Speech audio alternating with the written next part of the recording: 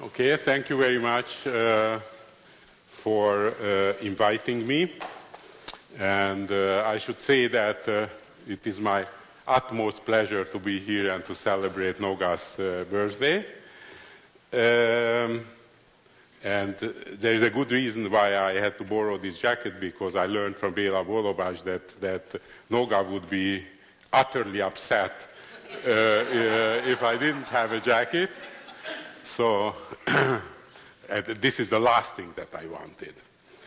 Um, also, I don't want to bore you with the details how uh, we met, but uh, the short story, of course, is that uh, around the beginning, the middle of the 1980s, uh, we found out that um, Paul Erdős, just like any other proper sailor, uh, had children and, nephews and all kinds of uh, uh, relatives all over the world. And those children started to discover their siblings. and ever since, th those people who I met of roughly the same generation, Ron Aharoni and Nati and Gil, uh, and Noga, and then later actually, uh, after exploring all other possibilities, Micha Sharir also joined in. Uh, we found each other and it was a very natural thing for us to collaborate with each other because all of us were actually interested more or less on similar, if you wish, strange problems. Now, I guess that this title requires uh, uh, some explanation. Uh, I am not sure if uh, I have to say anything because uh, maybe for younger people uh, this doesn't ring a bell at all. the good and the bad and the ugly, which was a Sergio Leone classic from the 1960s. But just to make sure that you know, this is the, the, the, person who I associate Noga with is the good character, the, the Blondie, the uh, Clint Eastwood character. Uh, so that you would know because Avi actually had a whole list of adjectives that one can use uh, uh in relation to Noga, and, and the bad and ugly was not on that list. So here is the, uh, again, the uh, title page. Uh, this is uh, Noga. It wasn't easy to find a fitting picture here uh, because uh, I disagree slightly with his daughters who said that he has a strange sense of humor.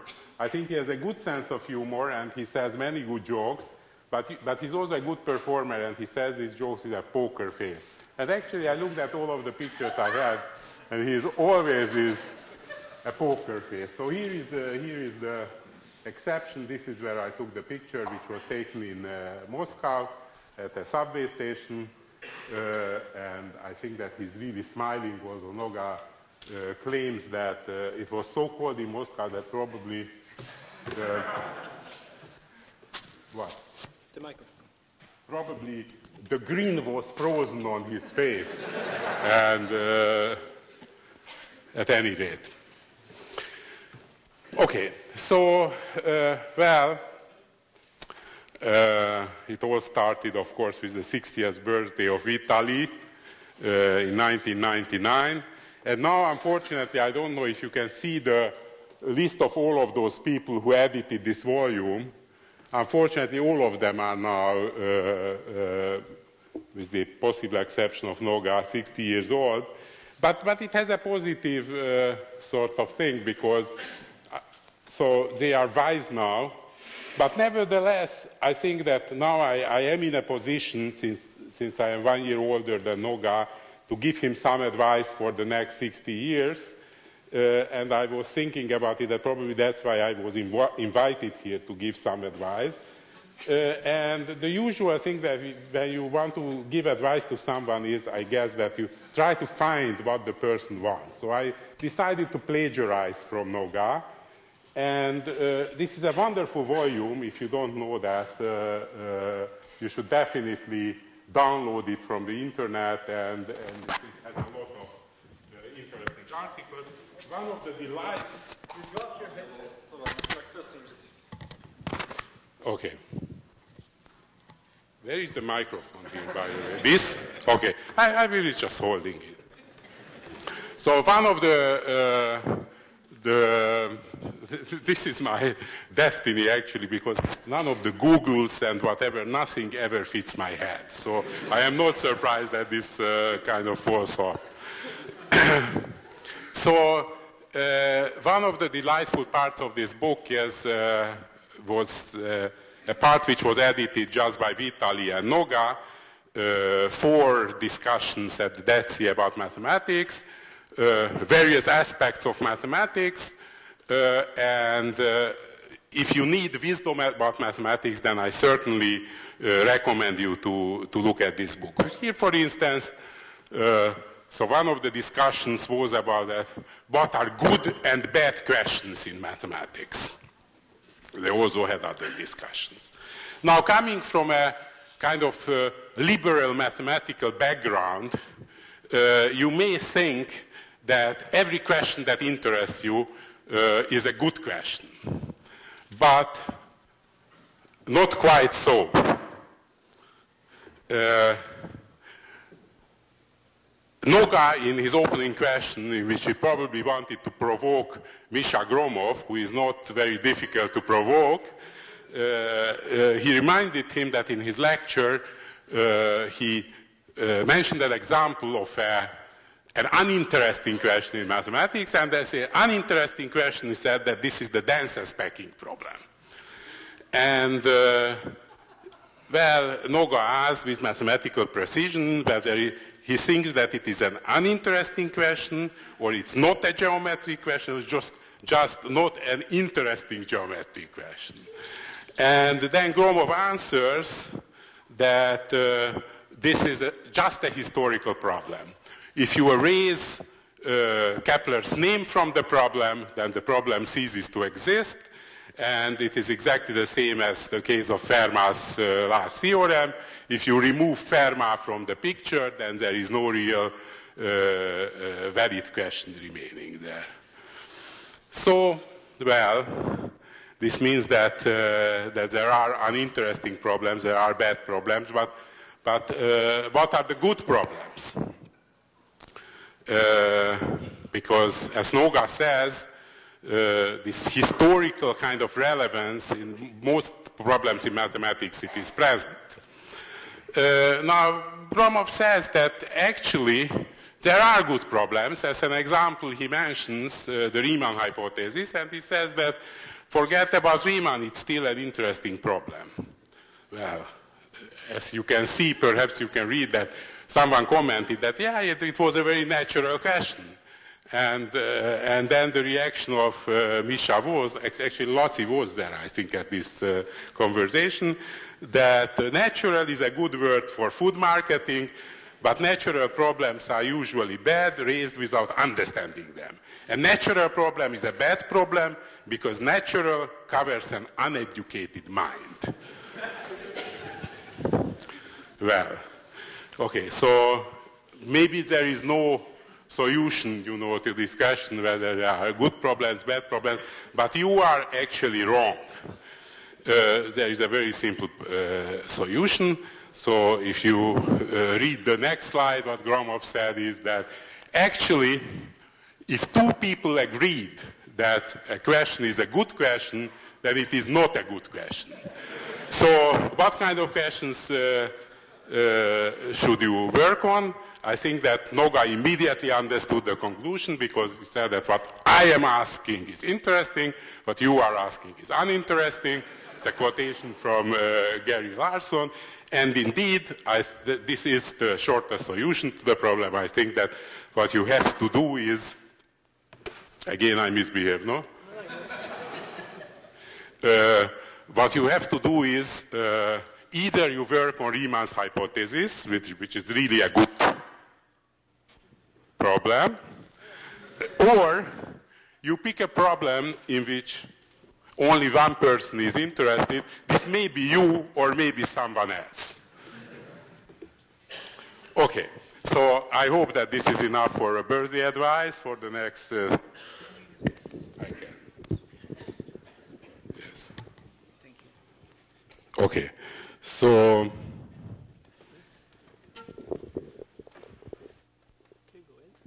Okay. Can you hear me? Can you hear me? Okay, that's something. Okay, so uh, let me start with. Um, uh, oh, I didn't see actually. I didn't say anything about ugly, but but maybe later, if you will have time, I will also uh, go into that. Something happened here. Control L, right? I know these things very well. so for some reason in the subculture I come from, uh, in combinatorial and computational geometry, uh, hypergraphs are called range spaces. So a range space is a pair, and X is an underlying set, and the set of hyperedges are called ranges, and this is this uh, fancy letter R which uh, denotes the ranges. And then, aha, now it will be really impossible, I guess, to use the blackboard or whiteboard, but never mind. Uh, so if you have a range space or you have a, a hypergraph, then a subset of the vertex set uh, you call shattered, if the following thing is true, uh, that, um, is it clear that I can get that far? Let me try. Ah, infinite possibilities. Very good. well, actually, don't worry if you don't see anything because uh, this is just for myself. So, um, the so when is a, a, a uh, uh, subset of the vertex at A? When do you call it shattered? You call it shattered if no matter how you take a subset of this set A, a subset B, then you can find a hyperedge or range whose intersection with A will be exactly this set. So in particular, if the cardinality of A is K, and you have a shattered set of size K, then your hypergraph must uh, uh, contain at least 2 to the k different hyperedges. Because for each subset of A, uh, you must have a different hyperedge. And then the Vapnik-Chervonenkis dimension of, uh, of your hypergraph, of your range spaces, just the size of the largest uh, shattered subset. So this uh, notion turned out to be particularly relevant uh, in geometry, in statistics, in, in uh, learning theory. And uh, so the geometric uh, applicability is a consequence of the fact that most of those kind of hypergraphs that you can naturally define uh, by geometric means have small Vapnik-Chervonenkis dimension. So here is an example. For instance, your points, your ver the vertices of your hypergraph can be points, say, in the plane, and you would say that a range, a hyperedge, is whatever you can cut off by a disk. So the intersection of any disk with this point set uh, is a hyperedge. And it's very easy to see that uh, this hypergraph has VC dimension 3, you cannot have four points that are shattered. For instance, if these four points are in this position, then they cannot form a shattered set because you will never be able to find a disk whose intersection with this uh, set consists of exactly these three points uh, without containing the, the uh, middle point. And uh, the nice thing that Vapnik and Chervonenkis noticed that actually hypergraphs of small bounded, small or bounded uh, VC dimensions. They behave very nicely. They have very nice transversal properties. So if you want to uh, represent uh, every edge or at least every large edge of such a hypergraph is a point, then much fewer points are uh, sufficient uh, than in general. And luckily, in geometric examples, this is the case. Now, uh, the, one of the basic lemmas that one needs for uh, uh, obtaining results for uh, hypergraphs of bounded uh, VC dimensions is a lemma which was proved uh, independently by, by Norbert Sauer, Saharon Shelah, and, and Vapnik and Chervonenkis in a slightly weaker form at about the same time. it's a beautiful statement.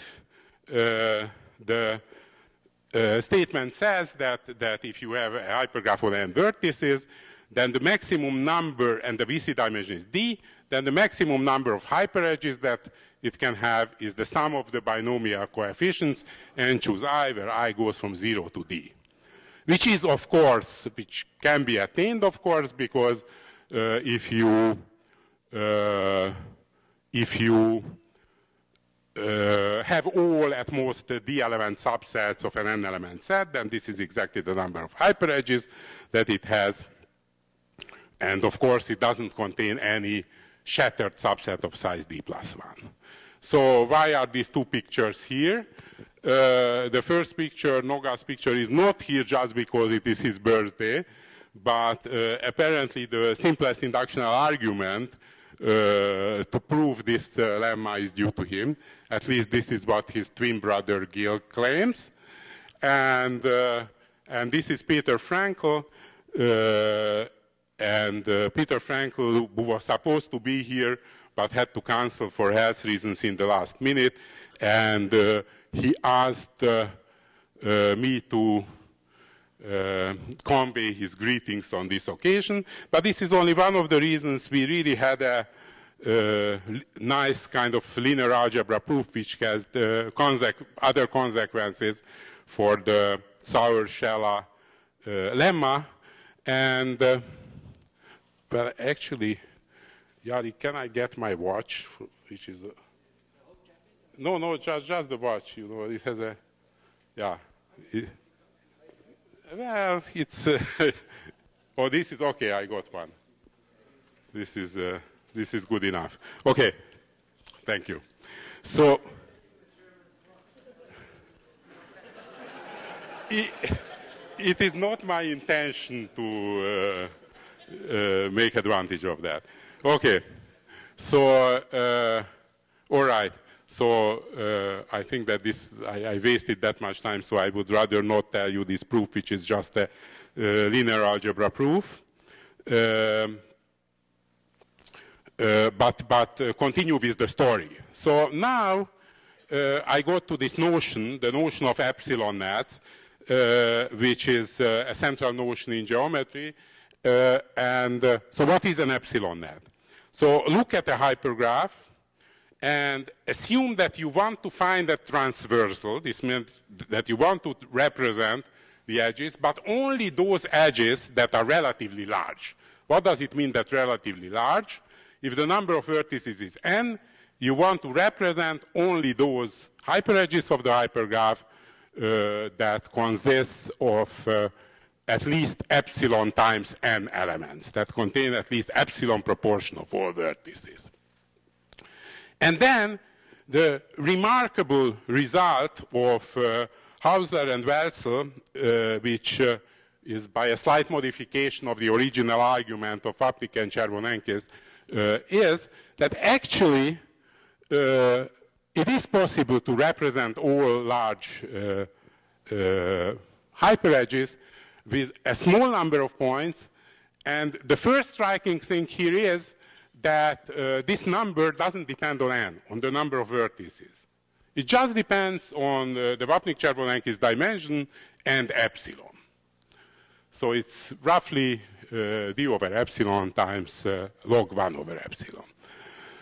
Now, as soon as uh, Haussler and Welzl proved this uh, uh, result, of course, the, uh, uh, it was a natural, this means that an uneducated question, uh, whether one really needs the logarithmic overhead in the bound. and Haussler and Welzl asked that, and shortly after, together with Gerhard Wöginger, and then in a slightly more general form, precise form, uh, with, um, uh, together with János Komlós, uh, we found that not only you need this logarithmic overhead, but we could also essentially determine uh, the best constant that you can have in this theorem, which is roughly d. Uh, now, not surprisingly, in this theorem, uh, we use the probabilistic method for the construction which in some sense uh, can be considered cheating because we want to apply our results in geometric setting. And geometrically defined hypergraphs are anything but sort of random. Therefore, the hope was that at least for geometrically defined uh, hypergraph, hypergraphs, this logarithmic uh, uh, factor is, uh, is not needed. And there were several results uh, pointing in this direction.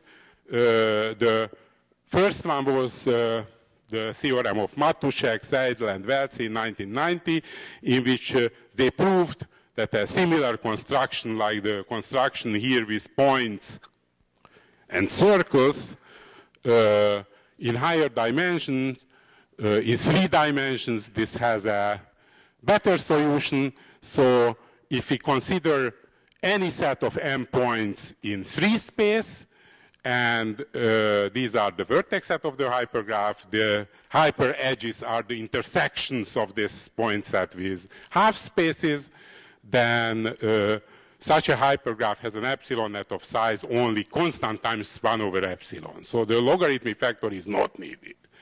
And then there was uh, shortly after, not shortly after, in fact, uh, uh, quite a few. 20 years later, Aronov, Ezra, and Sharir uh, made an improvement in another situation when we are in the plane uh, and the ranges are axis parallel rectangles. Then they improved the 1 over epsilon times log 1 over epsilon upper bound to 1 over epsilon times log log 1 over epsilon. But everybody felt, and, and that was the general conjecture, that this was really uh, kind of a technical problem with the proof. And so the truth is not 1 over epsilon log 1 over epsilon. Uh, they prove that it is less, but the truth must be really linear. And there were more general uh, uh, statements in this direction where uh, gave evidence that uh, this might be the case. And then, of course, uh, Noga Alon enters the, the scene, and uh, in, in 2010, uh, he surprised everybody by uh, shattering these dreams. Uh, so he actually proved that uh, there is no linear upper bound. 1 over epsilon is even in geometric examples. This cannot be an upper bound. And he exhibited very simple geometrically defined range spaces that require epsilon nets of size more than 1 over epsilon times any constant. So the, the actually is uh, range spaces, is hypergraphs are very simple. The vertices are points in the plane, and the hyperedges are those points that are collinear.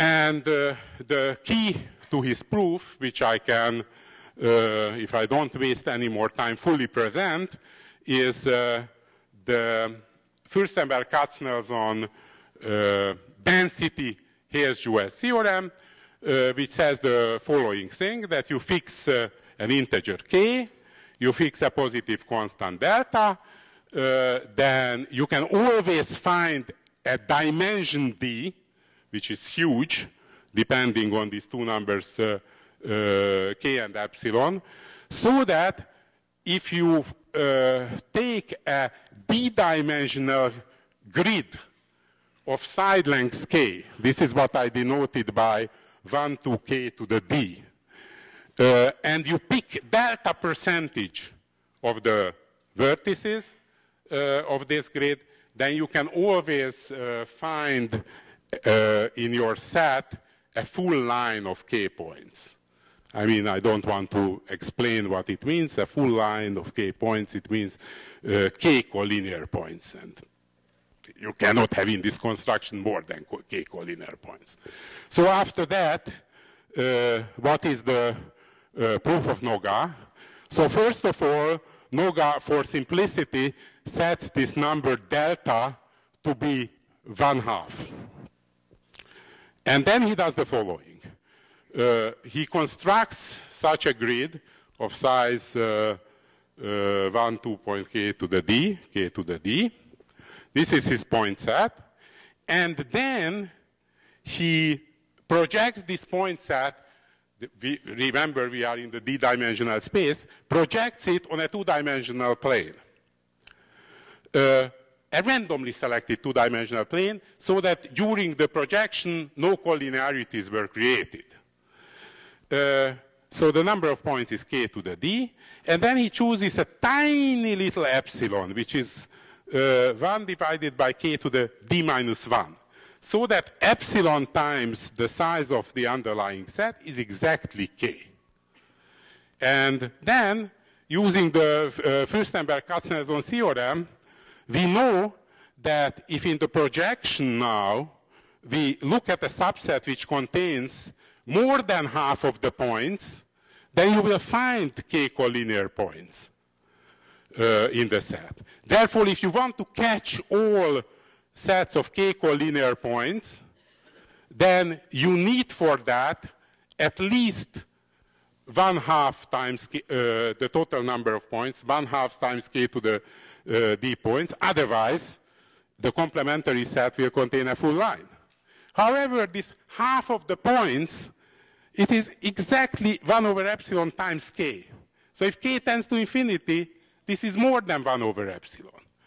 Now this looks, of course, complete cheating because, uh, because for a fixed epsilon, uh, you find one particular huge example which uh, contradicts, uh, uh, you know, the fact. But actually not so much of a cheating because you can slightly modify your problem and instead of looking at ranges that are straight lines, you can look at ranges that are just parallel strips, very narrow parallel strips. And then, of course, you are already allowed to move the point slightly. And if you are allowed to move the point slightly, then you are also allowed to multiply the points. This means that you replace each point by any number of points. And in this new construction, uh, as a matter of fact, you can have any number of points, but the same is true. To have an epsilon net, you need at least uh, as many points, uh, as many points you needed in this construction. So this is uh, really an amazing, it was an amazing breakthrough. Uh, this is, you see, uh, also in Moscow. I think that Noga is leading the way.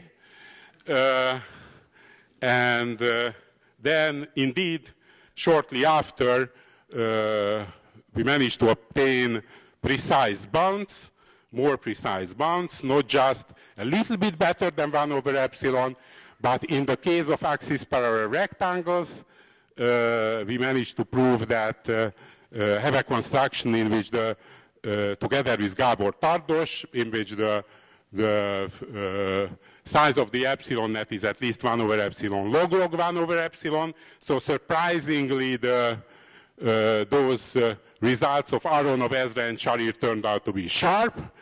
And if we look at just at half spaces, but not in three dimensions, but in four dimensions, uh, this means that points in four dimensions, the hyperedges are intersections of the point set with uh, with uh, half spaces, uh, then beautiful geometric example, the smallest epsilon nets have uh, size 1 over epsilon, log 1 over epsilon, which means that the Haussler-Welzl uh, theorem is, is really tight. There is no hope of improving them uh, even in fairly simple geometric settings. Now here is a uh, more recent development. Uh, so this previous uh, theorem that I mentioned uh, was about half spaces in four-dimensional space. But it turned out that uh, in a joint paper with Andrei Kupavsky, who is here, and Nabil Mustafa, who is not, uh, that actually this generalizes to uh, half spaces in d dimensions. And in the generalization, the dimension d, which is also the VC dimension, the VC dimension of this, uh, this hypergraph is actually d plus 1. So uh, actually the smallest epsilon nets have size d over epsilon times log 1 over epsilon. It's exactly the formula of Haussler and Welzl. Even the dependence on d is the same. So in some sense, uh, uh, it finishes this uh, uh, trail of uh, research. Now, there is an interesting thing that in some sense Noga's example was unbeaten uh, but for this, uh, we need uh, the notion of weak epsilon nets. So if you think about it, then those uh, range spaces I mentioned, geometric range spaces that have bounded VC dimensions, they, they, included almost everything we could think of, but there is a very simple example of a range space whose Vapnik-Chervonenkis dimension is unbounded. And this is the following, that you take a point set, and uh, you take the intersection of these points at all possible convex sets. It's a very natural geometric example, and it turns out that, that here the Vapnik-Chervonenkis dimension can be arbitrarily large. However, and again, it uh, comes from a paper of Alon, Bárány, Füredi, and Kleitman from 1992, uh, with a slight uh, revision in the original problem, we can find uh, epsilon net theorem. So uh, the slight change in the problem is that uh, imagine that here is our point set and we intersect this point set with all kinds of uh, convex sets and for the large convex sets that contain at least epsilon n elements, we want to find a transversal. We want to hit each of these large sets. If we are allowed to hit them in any point, not necessarily in the in, in, points that belong to our original point set, uh, then we say that we have a weak epsilon net. And uh, indeed, such a weak epsilon net exists. And uh, again, we have the same kind of uh, problem as in the general situation. Uh, that uh, most likely the size of this weak epsilon net uh, is roughly around 1 over epsilon. We know that, that it is not exactly 1 over epsilon. There is a slightly bigger lower bound, but here the gap uh, is huge, and I think it is a very interesting problem to, uh, to work on. Actually, in this respect, uh, uh, Noga also has uh, nice results because they, they came close to proving that one has weak epsilon nets in the case, at least when the point set is planar and your points are in convex position. In this case, the, uh, they proved an almost linear, almost 1 over epsilon upper bound with uh, Kaplan, Smorodinsky, uh, Gabriel Nivasch, Micha Sharir, and, uh, and Noga.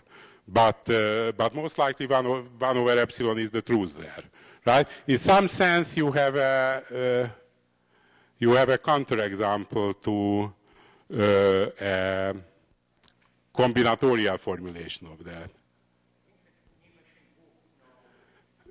that it is uh, it, there is a uh, the inverse Ackermann uh, from from. Uh, so so then the, then then then in that case we are really close to the truth uh, when they are in convex position.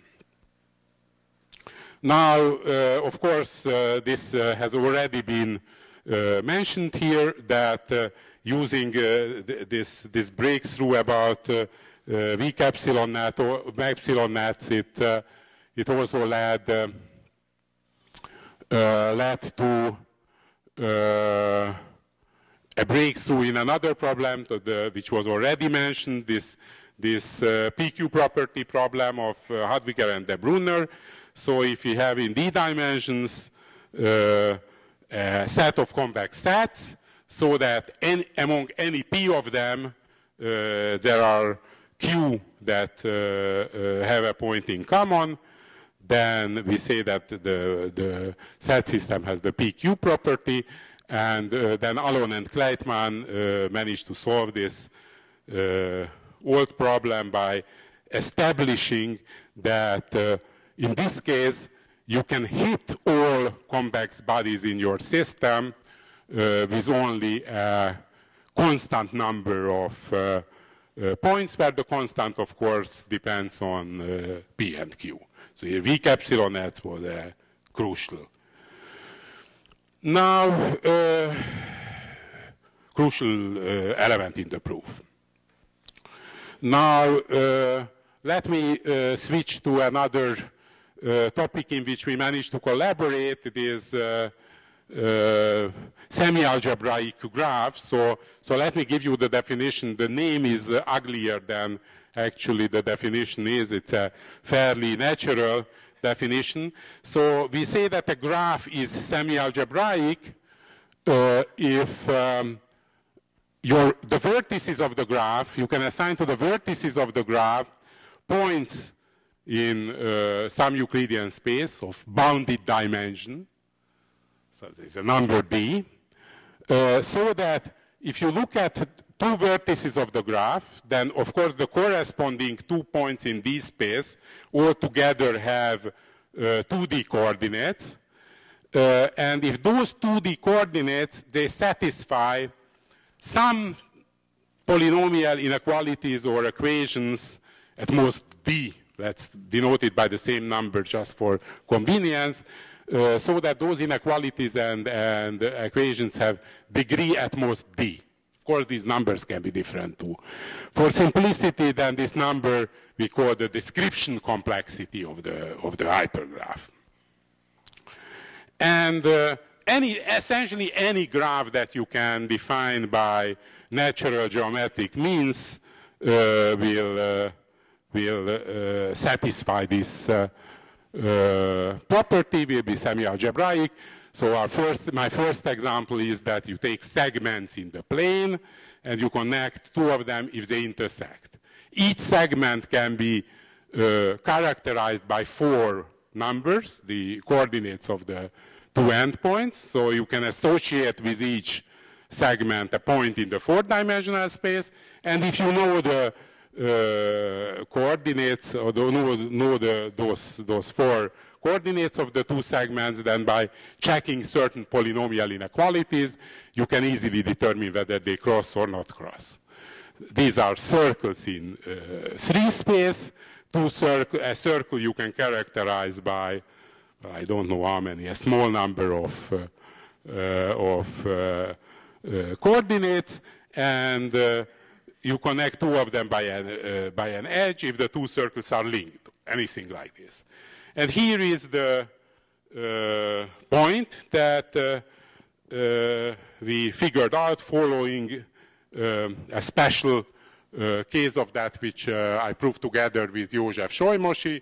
We had this theorem from 2005 together with Noga and Rom Pinchasi and Radoš Radoičić, in which we proved that semi-algebraic uh, graphs have uh, surprisingly beautiful uh, Ramsey-type properties.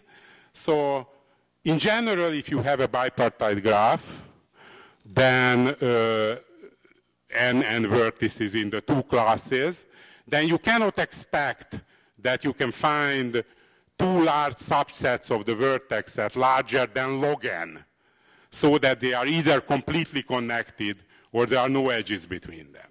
However, this is not the case if you have a semi-algebraic graph. In semi-algebraic graphs, you can always find in such a bipartite graph two positive proportion subsets of the vertex set, so that one of the two uh, uh, possibilities will hold. Either every point in this small subset is connected to every point in the other one, or there are no edges between them.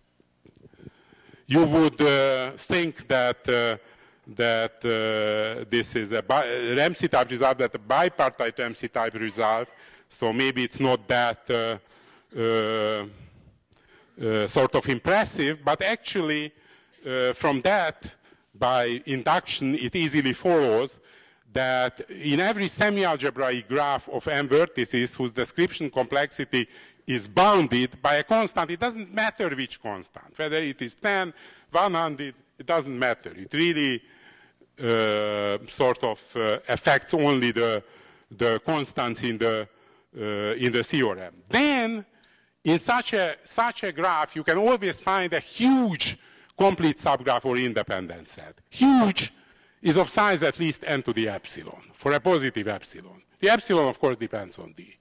So this is uh, perhaps the only kind of really general uh, um, special case of the famous Erdős-Hajnal conjecture uh, that claims that uh, in, in the uh, uh, set of all graphs that avoid a certain induced subgraph, one can find such huge homogeneous subsets.